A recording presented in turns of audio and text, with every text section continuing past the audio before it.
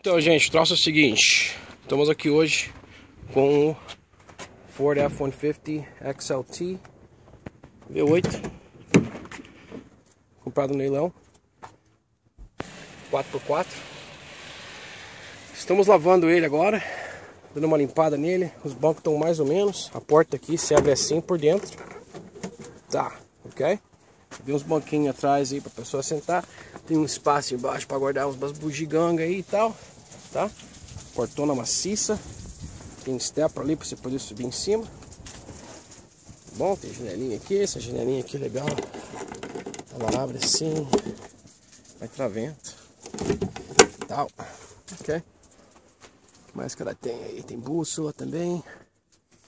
Ah, então ela tá por dentro desse jeito aí. As rodonas dela estão uma maravilha. Olha só que aro bacana que tem. Rodona enorme. Acho que nem tamanho, tive o tamanho dela. Ah, tamanho aro 22, é. Aro 22, pessoal. Olha o tamanho do troço.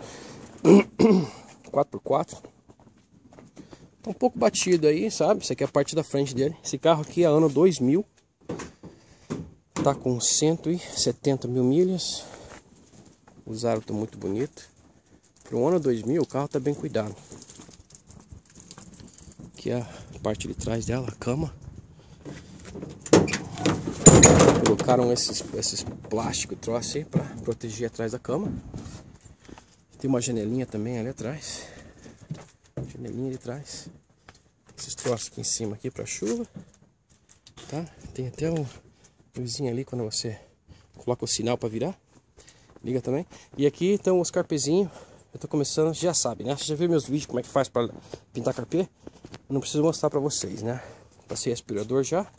E eles eram dessa cor aqui. Esse aqui é o pior que tem. Essa era a cor deles. Eu troquei a cor. Coloquei assim, uma cor cinza. Mais bonito. Dá pra ver a diferença tremenda, né? Eu tinha, também tinha essa tinta aqui. Só que eu testei e não gostei. Eu preferi ir com a, com a cinza, tá bom?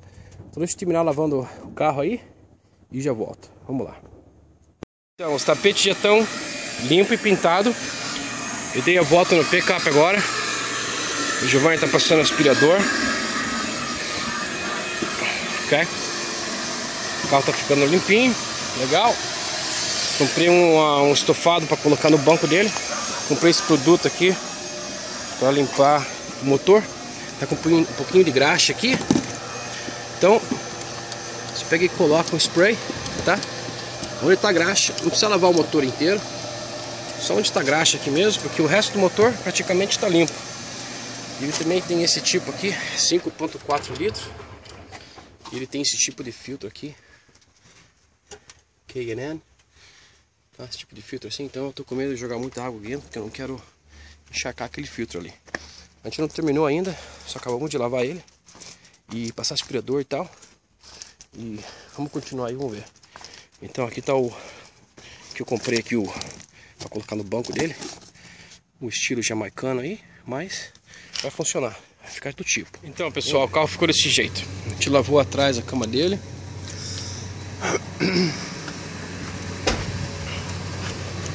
Essa porta aqui abre assim, colocamos colocamos o estofado no banco que estava um pouquinho rasgado aqui. Colocamos o estofado, pentei o carpezinho, carpela também. Passamos aspirador aqui por dentro. Damos uma limpada nesse troço aqui, estava um pouco sujo. Aqui você abre a porta. Como vocês viram, eu tô com a mão suja aí porque. Joby, how do you bring this down? Okay, assim. Aí você baixa o banquinho. Aí você também pode levantar, colocar coisa lá embaixo. Bom, licença. Então, a ar-condicionado funciona uma maravilha tá com 170 mil milhas, que é muita, muita milha, mas o carro tá bem cuidado, não tá muito mal não, viu? Então, ah, os bancos também tão bonito. Tão bonitos os bancos aí. Só esse aqui que teve que fazer isso daí. Mas eu acho que é um carro legal, um picapão bacana. 4x4, como eu falei pra vocês. Tá ali, manual. E você fecha a porta assim. Assim. Tem esse tipo de filtro especial que eu mostrei já. Motor já lavei, tava um pouco de graxa lá embaixo lá.